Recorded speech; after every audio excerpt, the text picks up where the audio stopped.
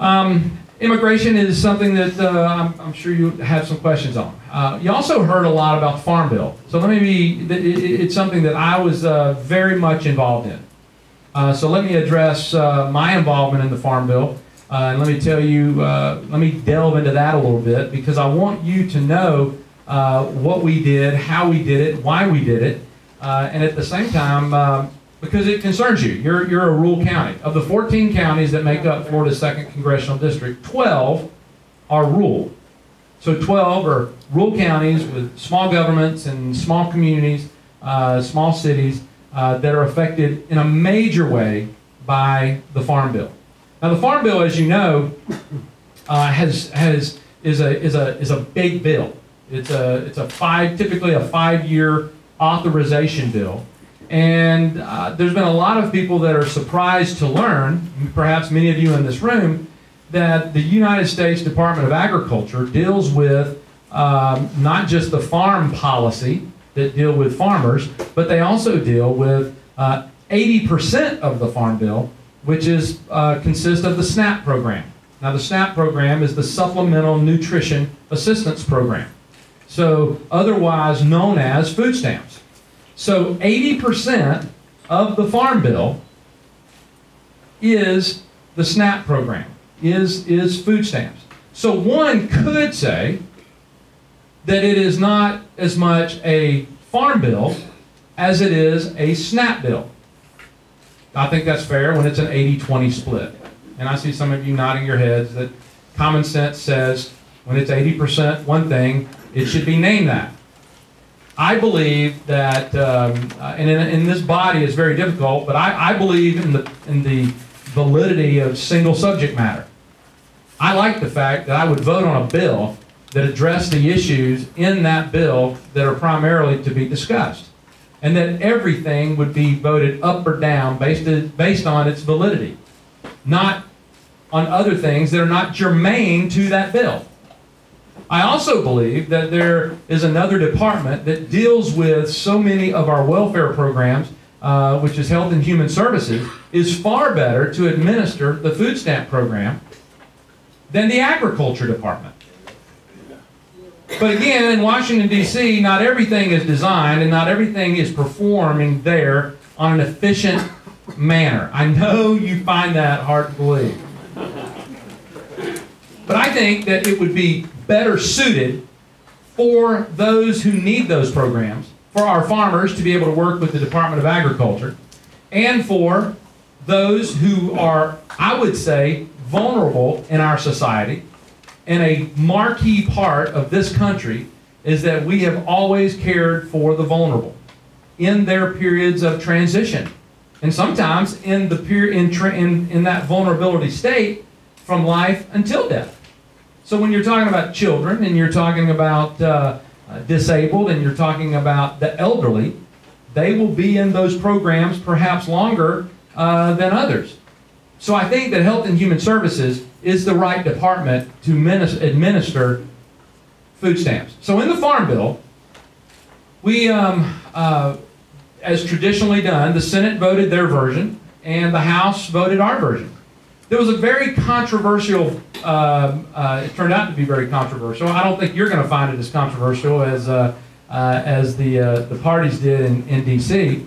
Uh, I submitted after, uh, wor- after working for one year with 17 different states, uh, uh, health and human services secretaries, and listening to what they were asking us for, since the states are the ones who deliver and maintain and oversee uh, uh, the SNAP programs. I sponsored uh, an amendment uh, that dealt with able-bodied individuals. Now, I didn't say children, and I didn't say disabled, and I didn't say seniors. Able-bodied individuals of working age that they must be either working, training for work, looking for work, or volunteering in their community if they are going to be recipients of food stamps. Now, the statistics, based on polling, says that there's only about 18% of Americans who don't believe in that. and that 82% of America believes in what I just stated. Again, let me be crystal, crystal clear. I want to make sure you get this one. Focused, and the volume is set right. My amendment, my amendment addressed able bodied people who are mentally, physically, psychologically able to work, excluding children, excluding the disabled, excluding the seniors. And if they couldn't find a job, they could volunteer. And my goodness, this morning I met some of the greatest 80 and 90 year old volunteers at your hospital, the little pink ladies, and they were there adding to the quality of service and making your community better. A couple weeks ago, I was in Tallahassee at an awards dinner for elder care. Now, if you know anything about elder care in Tallahassee, you know that their primary function is to take food and deliver food to the needy. Now, let's define or the vulnerable. And who were those people? Most were seniors. And it's done entirely by volunteers. So it is a government program to provide the food, but it's delivered to these individuals who are vulnerable and who need this by volunteers. So I was there the other night at an awards banquet, and I was there to give out and to hand out 40 year awards of service, 30 years of service, 20, 25, down to 10.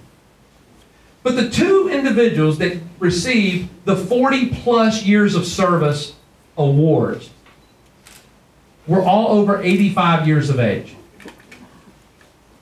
Now, I want to ask anyone in this room if an 85 year old precious, precious person, on days I'm sure didn't feel good, can utilize their blessings, such as their car or their gas, their time, on good days, bad days, arthritic days and they can volunteer and deliver food to the needy.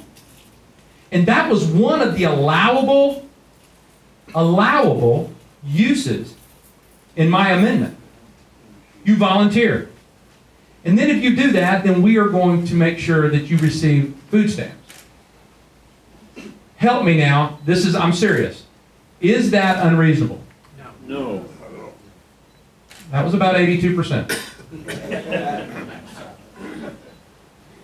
The point is, America, for the last five decades, has spent $15 trillion. When Lyndon Johnson declared war on poverty, what we have done in this country, we have helped many, yes, but we have certainly not advanced our goal to rid poverty in this country. We have spent $15 trillion. There are more people by percentage, there are more people by numbers living in poverty today than were at the time he made that statement. But what Washington is doing, rather, in, in, in, these programs, is they are focusing on needs and issues that are fundable rather than solvable. And so when we fund programs, the goal is to spend the money so we can get more next year. And what is happening in many cases, not in all, but in many cases, is individuals are becoming dependent. And I'm not talking about the vulnerable. We are here to care for the vulnerable.